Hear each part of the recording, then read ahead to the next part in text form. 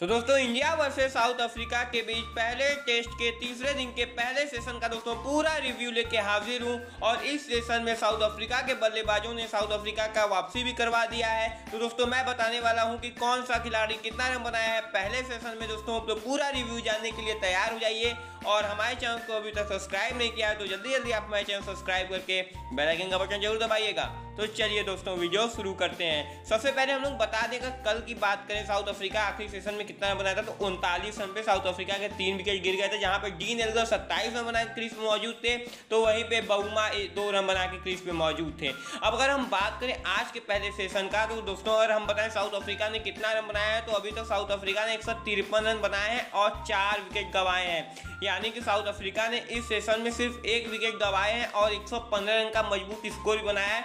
यानी काफ़ी अच्छी बैटिंग कर रहे हैं साउथ अफ्रीका के खिलाड़ी। अब आपको हम बताने जाएँ इसमें कौन सा खिलाड़ी कितना रन बनाया तो डीन एल्गर ने शानदार पचासा जड़ दिया है, छिहत्तर रन बना खेल रहे हैं। फाफ ड्यूप्लेसिस अड़तालीस रन बना क्रीज पे मौजूद है।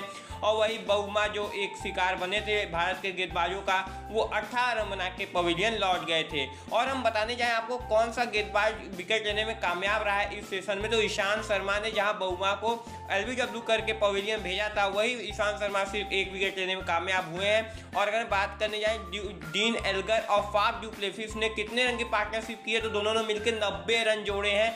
यानी कि एक बहुत ही अच्छी और ठोस शुरुआत है इस समय इन दोनों ने पार्टनरशिप करके साउथ अफ्रीका को सिचुएशन में डाल दिया है। अब कुछ ही रन पीछे हैं साउथ अफ्रीका इंडिया से 300 के ऊपर रन अभी बनाने हैं, लेकिन देखना होगा दोस्तों कि अगर अगले सेशन बहुत ही इंपॉर्टेंट रहने वाला है साउथ अफ्रीका के नज़रिए से अगर साउथ अफ्रीका अगर इस सेशन में अगर भारत भारत से बढ़त बनाता है या फिर भारत के करीब पहुँचता है तो दोस्तों देखने में बहुत मज़ा आएगा। देखना होगा कि इस सेशन में गेंदबाजी क्या कर पाते हैं। भारतीय गेंदबाज हो सकता है कि जल्दी जल्दी हो सकता है कि विकेट ले और हो सकता है कि इस सेशन में साउथ अफ्रीका की बखिया खड़ी हो सकती है। तो वो देखना होगा दोस्तों, वो तो मैं आपको बताता ही रहूँगा। तो चलिए दोस्तों वीडियो खत्म करते हैं। हम आपको मिलेंगे अगले न्यूज़ और